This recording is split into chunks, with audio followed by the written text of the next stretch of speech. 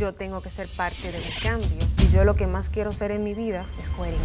¿Cómo que tu boda fue una sorpresa para tus invitados? ¿Tú crees en el matrimonio? No voy a tener hijos, yo quiero adoptar. Con la directora del concurso Miss República Dominicana. ¿Hiciste las paces con ella? Tienen que ser parte del respeto, darnos el valor que nosotras tenemos. Yo soy feliz con muy poca cosa. ¿Y con hacer Gracias crecer tu familia? ¿Qué tal si no vienen bebés? ¿Tú crees que los concursos de belleza están desfasados sí o no? No me va a hacer sentir ni más ni menos mujer. Bienvenidos a una nueva entrega de Una Vía a la Semana, esta vez con nuestro segmento Doble Vía. Danilo, ¿tú estás listo desde este acogedor teatro de Pequépolis para ver a dos mujeres bellas? Yo siempre estoy acompañado de mujeres bellas. ¿Lo dices por mí, amigo? Te sale piropo hoy. Ay, Dios mío, primera vez en, en siete años. Una nueva era, hay gente que pues, una nueva década, otros que no, otros que sí, pero eh, ahí estamos, ahí estamos. Y sí, nuestras siguientes invitadas son mujeres que de por sí han roto esquemas, eh, no solo por su belleza física, sino también por su talento y, y- y lo trabajadoras que son. Y de hecho, impactaron a la nación por su apariencia física poco común, según lo que la gente entendía o los patrones de la belleza. Y también impactaron al universo. Así es, nuestras invitadas Ruth Kumares y Yaritza Reyes. ¿Trajeron su corona, tú crees? Bueno, que hay uno que está buscando, que es la- un varón que quiere su corona por ahí. Ahí está. No sé cuál corona es. ¡Darisho! Veamos, vamos a buscar a estas niñas. La hermosa y alta. Dios mío, tengo que ponerme taco. estás? Qué bueno verte. Gusto encontrarte, Ruth. Teníamos mucho que no nos veíamos. Bastante, para mí es un placer, de verdad que sí. Bueno, Igual. tú estás bellísima. No, tú siempre estás bella. Yo No, quiero no, saber no, qué es lo que no, tú no, La haces. discusión de ahora es que tú estás demasiado bella. Y mira, con este pin de perrito, animal lover como yo. Claro, pero que, que los gatos, mis gatos no sepan eso, que me puse algo de, de perros. No te preocupes, que van a la par, todos somos unos. Ven, aunque tú no necesitas mucho, pero vamos a hacer algo de maquillaje para que te lista la entrevista. vamos, vamos, vamos. Aunque yo Te te veo sigo. muy nítida, tú como que naciste muy natural.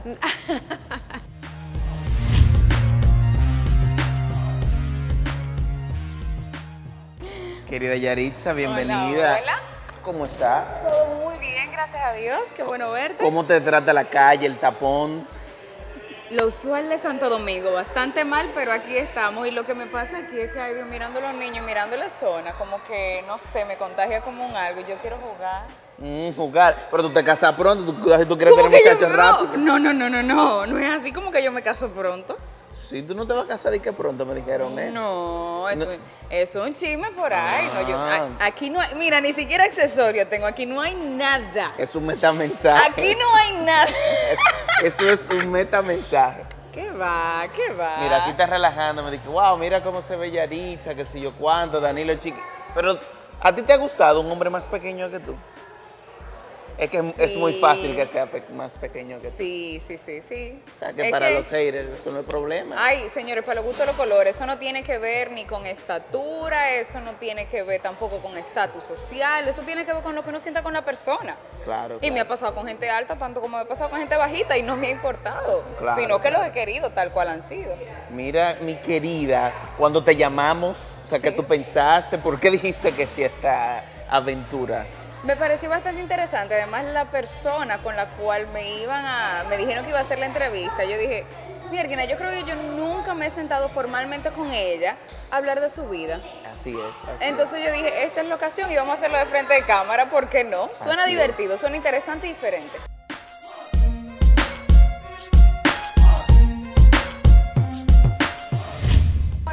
Ruth. ¿Cómo estás? Súper bien, gracias a Dios. Qué bueno. ¿Y Yo tú? te preguntaba muy bien, gracias, excelente, feliz de pues tener esta conversación contigo. Yo te preguntaba fuera de cámara, ¿de qué tú quieres hablar? Bueno, yo quiero hablar de ti, de tu vida. O sea, es que yo me di cuenta que antes de, de hacernos la, la invitación al programa, yo siento que yo nunca me había sentado contigo directamente a hablar de tu historia, de ti, de tu vida, de lo que pasó y de lo que no. Aunque cuando gané el concurso tenía el deseo, pero no se terminó de dar esa conversación. Tienes razón, nunca nos hemos sentado a conversar, siempre nos hemos encontrado tal vez en algún camerino, en alguna pasarela, Sí, en alguna sí. sesión fotográfica, pero para mí es un honor tenerte aquí y sabes que esta gran oportunidad de preguntarte cosas que han pasado en tu vida y que también sirven para empoderar a nuestras niñas, a nuestras jóvenes, ahora que acaba de ganar una Miss Universo, Miss South Africa, de verdad que me siento súper orgullosa. Como ella lo dijo, yo quiero que las niñas se vean reflejadas en mí. Exacto. Tú viste ese concurso, yo sé que sí, porque que te sí. sigo en las redes y estábamos las yo dos lo viví, poniendo. yo lo grité, porque es que precisamente, o sea, nosotras, yo siento que nosotros fuimos parte de esa historia que ayudó en Eso, el sí. proceso a que se diera este momento. Y yo sentí como que podíamos ser cualquiera de tuyo o cualquiera de las otras chicas que han intentado eh, llegar al Miss Universo y tener esa corona. O sea, ella ganó con su cabello cortitico, natural, negra, de su Bellísima, elegante y siendo ella misma, ¿verdad Claro que, que sí? sí. ¿Y cómo te sientes tú estando en esta posición? Como reina de belleza, las niñas te ven y te admiran en la calle y tal vez te ven y te dicen, ay, Yari, yo quiero una foto contigo. ¿Cómo te sientes? ¿Qué te hace sentir eso? Porque hay a veces que cuando las personas son famosos y tienen este acercamiento con el público, eso como que los engrandece. ¿Cuál es tu sentimiento cuando una jovencita o una niña se te acerca en ese plan? Yo me siento sumamente, yo me siento sumamente feliz. ¿Por qué? Porque es que es sencillamente el acercamiento de ellas. Me da como que no es feliz porque ellas ven a, hacerse la foto porque sea yo, sino sencillamente es como que qué lindo que ellas puedan ver otra mujer como ellas con el cabello rizado, porque yo recuerdo que mientras yo iba creciendo yo no veía mujeres Sí. con el cabello rizo, más que las chicas de mi edad Sí, es cierto. e inmediatamente llegaban los 15 años, era el momento de, ok, ya eres una señorita, vamos a laciarte el cabello. Sí. Y cuando yo veo niñas en el día de hoy que se acercan a mí con su cabello rizado, o las madres que inclusive, yo le pongo a, a mi hija tus fotos para que ella las pueda ver Sí. y, y decirle que su cabello es bonito, entonces me llena de alegría de que ellas tienen un ejemplo y que más adelante van a tener el poder de decidir lo que ellas quieren sobre su cabello, algo tan sencillo Sí. y tan básico. Pero que por tantos años Claro, nos han- han impuesto que no, o sea, Claro. que los cánones de belleza es la mujer de cabello ri- eh, de cabello lacio, la mujer más blanca, se ve mucho mejor. Sí. Y yo te quería preguntar precisamente por ese tono, ¿cuándo decides tú dejar tu cabello eh, rizado? Sí, porque ¿Y por realmente yo no participé con el pelo No. rizado, yo participé con mi pelo lacio y es que en ese momento yo creo que ni el concurso ni el país estaba preparado para pues tener una reina de belleza participando una candidata con pelo rizado. Pero siempre lo llevé rizo en mi niñez, eh, no el rizo de plancha, no el rizo de, de un químico, pero sí el rizo Natural. de que... Sí, el rizo de que tal vez mi mamá tenía salón, me hacía rolo y eso era como que fabulosísimo porque ahora están un poquito más manejables. Pero el químico llegó a mi cabeza con los concursos de belleza. Es, ¿Es- la en verdad. serio? Sí, realmente llegó con los concursos de belleza y que para aplacar un poquito, como dicen, a ver, aquí. Aquí delante. Para aplacar la greñita. Claro. Y no sé qué. Y bueno, y por ahí se va. Tú sabes que cuando se le aplica químico al pelo, pues esto es un proceso de toda la vida. Claro que sí. Bueno, pues. yo traté en- de no sucumbir a Sí. nada de eso. Fue bastante difícil el Sí, no caer en eso. Es difícil. Y recuerdo una vez que hiciste una sesión de foto y Aridio fue tu peluquero y Sí, maquillista. sí, sí. Y él me dijo, yo estaba con Yaritza y lo primero que me dijo fue, no me toques mis rizos. Sí. Y lo amé. Entonces ya yo tenía mi pelo rizado y le digo, sí, es que es así como es, así es como debe de ser. Y recuerdo que comencé a dejarme los rizos cuando me mudé a Estados Unidos, Sí. que ya yo dije, yo quiero tener mi pelo como me sale de la cabeza, yo quiero mi pelo natural. Y ahí comencé pues ese proceso. Cada vez que venía pues tenía piropos fuera de lugar y demás, que me parecían súper graciosos, Exacto. pero nunca me afectaron. Sin embargo, lo que sí en este momento me está afectando, y te lo voy a sacar a colación porque creo que es un aporte muy importante a nuestra sociedad, es lo que está pasando eh, con nuestra juventud y nuestros niñas, nuestras niñas, nuestros niños. Tenemos varios casos que nos han afectado. eh, niños desaparecidos, niñas desaparecidas, violadas, eh, mujeres asesinadas. Son muchos, muchos los casos de intolerancia, no solamente hacia la mujer, sino hacia una hacia mm, eh, tal vez una elección de, de preferencia sexual o tal vez a una, lo que sea. Hay intolerancia o tal vez a la religión. ¿Cómo tú crees que podríamos erradicar esta situación? Porque estamos hablando de un asunto de empoderamiento. Sí. Y siempre hemos hablado de empoderar a la mujer, empoderar a nuestras niñas, empoderar, empoderar, empoderar. Pero en menos de tres días teníamos cuatro asesinatos. Sí. ¿Cómo tú crees que podríamos erradicar esta situación desde nuestra plataforma?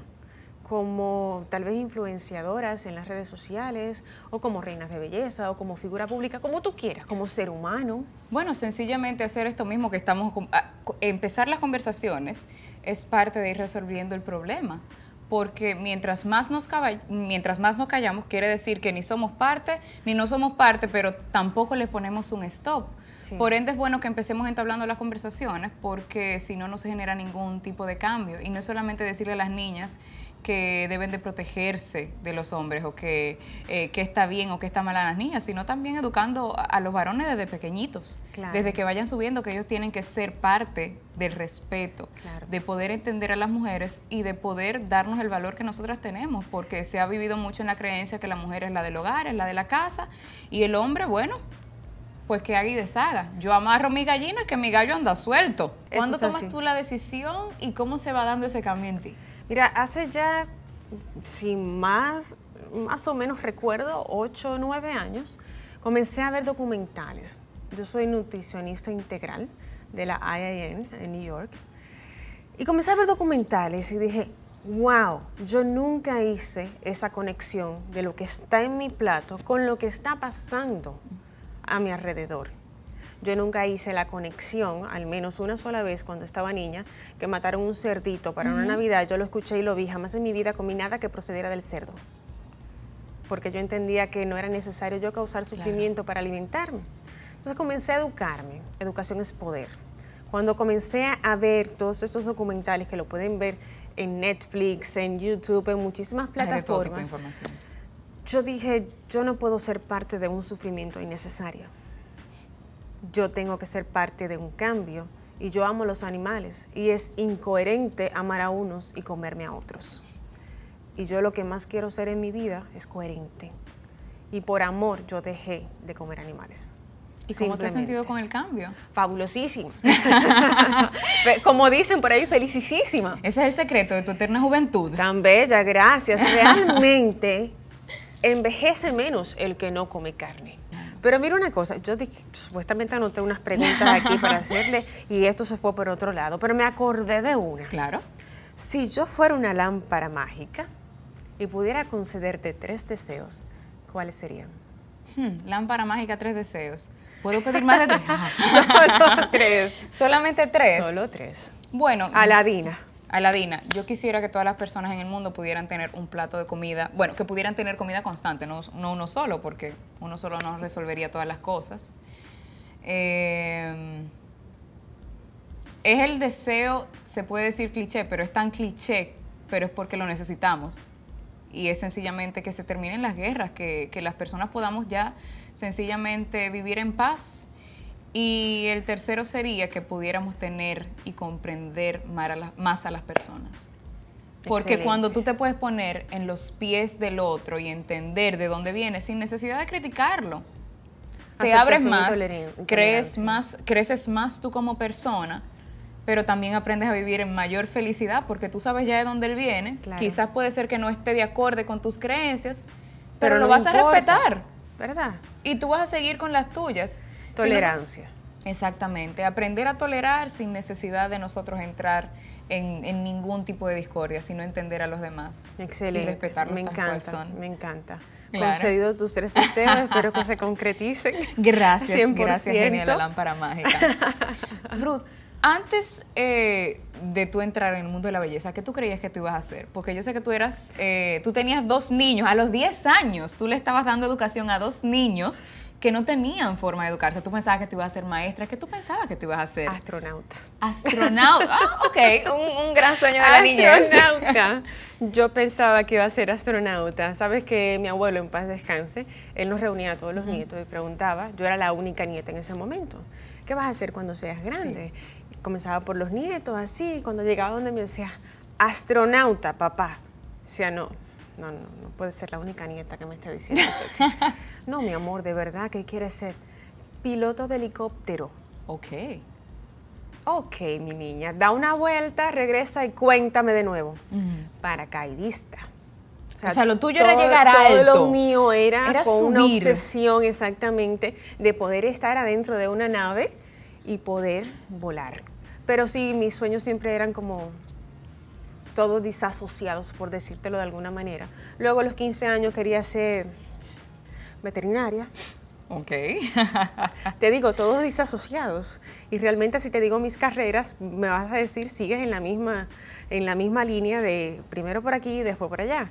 O sea, lo primero que estudié fue diseño gráfico publicitario. Después Qué nutrición integral. Y eh, este, el año pasado me gradué de administración de empresas. Exacto. Entonces tú dices, wow, son caminos como que, que van, pero para mí todo suma, para mí todo es crecimiento y todo es necesario. Todo lo que te mencioné ha sido básico y esencial para, para ser quien soy hoy día. No, claro que sí. Yo también soy muy creyente de lo que dice. O sea, es que el conocimiento nos hace libres, el conocimiento nos hace crecer y no pesa en lo absoluto. O sea, el Para educarse eh, es mantenerse vigente, es mantenerse más cercano a los demás. El cerebro es como el cuerpo. Si no lo ejercitas, ya sabes lo que pasa. Así ¿Verdad que sí? Cuéntame cómo es tu relación con tu familia. ¿Qué significa tu familia para ti? Mi familia para mí lo son todo. Sin ellos yo no, no sería nadie, no habría podido llegar al lugar donde estoy. Han sido mi soporte más grande, mis fans número uno y me han guiado de una forma tan cercana. Sí. Me han dado los valores que yo tengo. Mi mamá, una, una persona tan y tan trabajadora, una luchadora ¿Qué incansable. hace tu mamá? Mi mamá, ella eh, se graduó también de, de la UTE, precisamente, eh, como psicóloga, ya a los cincuenta y tantos de, de- de años, sí, sí, sí. Brava, mamá. Bueno, gracias, se, se- se la doy, la felicitación. Y bueno, mami que vende productos, que da clases, mami es una todóloga. Emprendedora. Ella trabajó por unos veintitantos años en una zona franca hasta que en el 2000, cuando hubo una crisis, en los 2000, cuando hubo una crisis bastante grande aquí e internacionalmente, bueno, quebraron las zonas francas de aquí y ahí mami queda sin trabajo y nosotros abrimos que un centro de internet en la casa, que mi mamá empezó a vender dulces, eh, hizo una paletera en la casa y yo dije, bueno, si mami la tiene en la casa, que me preste unos chocolates y yo me la llevo a la escuela. Muy bien. Y a los dos, a los, como a los tres, cuatro paquetes de chocolate, ya yo tenía mi propia paletera en la escuela y empecé a vender yo. Muy bien, muy bien. Y entonces te digo, ella siempre buscaba la forma de mantenerse vigente, siempre ha buscado la forma de, de- de poder estar ahí, de poder seguir adelante. Y ella ha sido uno de mis mayores ejemplos. Mi papá, eh, también un- un- un- una persona muy amorosa, no, no terminé de, de crecer toda mi adolescencia con él. Sin embargo, siempre ha sido un padre muy amoroso. Y mis hermanos, que fueron también madre y padre al mismo tiempo, porque yo soy la menor Wow. y la que menos me lleva me lleva ocho años. Entonces ellos también se encargaban de cuidarme, que me, que me revisaban la tarea, que si yo hacía algo malo, Ajá. Pau, pau, eso era Ah, una claro, pela. Y no, era, claro. y no era dos personas que yo tenía que darle Eh, eh, el reporte. el reporte, en lo absoluto. Eran, seis. personas. Ay, Dios mío. Y tú dices Entonces que no, terminaste de vivir tu adolescencia con tu padre. Se separaron tus Sí, padres. sí, sí, sí, ellos se separaron. ¿Qué significó eso para ti en ese momento? Bueno, en ese momento, claro, fue como ese, ese gran cambio de mami y papi ya no están juntos. Eh, y dentro de la mente de los niños, como yo estaba, qué sé yo, tenía como 14 si acaso, era como que, bueno, yo voy a hacer un plan para que ellos vuelvan a estar juntos, porque se supone que mamá y papá están juntos. Pero cuando por fin pude entender que lo mejor para ellos no era esa unión, yo sencillamente fui feliz y respeté su decisión. Y me ha gustado mucho el que aún a pesar de la separación, ellos han sabido mantener un estatus como no, tu mamá es tu mamá, tu papá es tu papá. Muy bien. Se respetan el uno al otro, no han estado con ninguna otra pareja, no han estado con nadie más, sino sencillamente no, ya no podían convivir. Entiendo. No podían estar en conjunto y era mejor separados que unidos. Te entiendo perfectamente. ¿Tú crees en el matrimonio? Sí, sí, sí, sí. Yo creo en unión, yo creo en el matrimonio como, como tal, como institución, y también creo que si dos personas desean unir sus vidas, también por una cuestión legal, para luego, o sea, digamos que eh, para, para una cuestión generacional, el matrimonio obviamente conviene, porque también te va a avalar, te va a dar un seguro, te va a dar una estabilidad, y también a los hijos que tú procrees con esa persona. Claro. Claro. Porque si ese es el plan que ya tú tienes, bueno, pues entonces vamos a hacerlo. Las bases legales nos van a cubrir y por ende también el matrimonio, además del amor, Que se tiene la pareja. ese sello de amor por la pareja, también es una cuestión que la sociedad nos permite para nosotros también estar mucho más seguros de- del futuro de nuestras familias, de por bien, sí. Muy bien. Y si tú, cuando tú te cases, porque yo sé que en algún momento vas a tomar esa gran decisión, ¿por la iglesia o por lo civil? Yo creo que por la iglesia. ¿Sí? Sí, sí. Yo creo que ¿Iglesia por la iglesia. católica? Católica. Católica. Excelente. ¿Tú creciste en una familia católica? Sí, yo crecí en una familia católica desde los 8 años hasta los 18 cantando en el coro de la iglesia. Yo me Wow. siento, yo- con todos los viajes y todos los trabajos, fue un poquito difícil para mí despegarme de, del no estar los 24 y los 31 de diciembre y también la, eh, las Pascuas de Resurrección Ajá. en la iglesia cantando. Y este Fue un año tuve- proceso. fue un proceso porque para mí era, eh, era, era la vida, era la esencia. Eh, y bueno, y he tratado de igual forma de incorporarlo y de todos los años, por lo menos que no esté presente día a día, por lo menos en esas ocasiones especiales, sí, Sí, estar, ahí, estar compartiendo con ellos. Claro. Tú recientemente, Ruth, ya tu boda fue una sorpresa. No tan reciente, o sea, ¿cómo fue eso? Espera, Una porque también hablando de boda, o sea, ¿cómo que tu boda fue una sorpresa para tus invitados? En breve. Para él, él dice que fue amor a primera vista. o sea, Cuatro meses en este estrés. ¿Cómo que tu boda fue una sorpresa para tus invitados? Soy luchadora, luchador, soy gol. Gold's Gym. Conoce tu propia fuerza.